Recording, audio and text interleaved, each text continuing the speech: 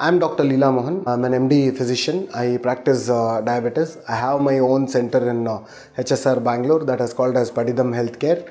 And then I'm consultant in uh, motherhood and uh, Columbia Asia on Sarjapur Road.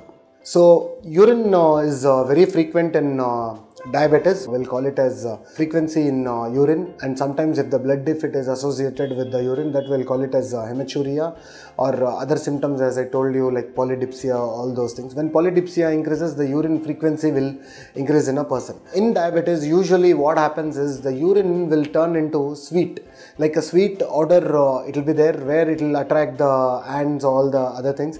Usually in the previous eras of our life, when there are no techniques to find out, doctors to ask the patients to give a urine sample, and urine sample was left outside, and then the ants come and uh, uh, take over it. And so that is how they found out that person is uh, having basically diabetes. So what is the order? Uh, order is a sweetie order uh, which will uh, attract it is like basically the complete glucose like sweet order so basically in the urine what happens? The excess glucose which is produced so diabetes is nothing but due to beta cell destruction and uh, insulin resistance the glucose uh, flows in the urine. So the body tries to get rid of the glucose so the glucose is passed in the urine.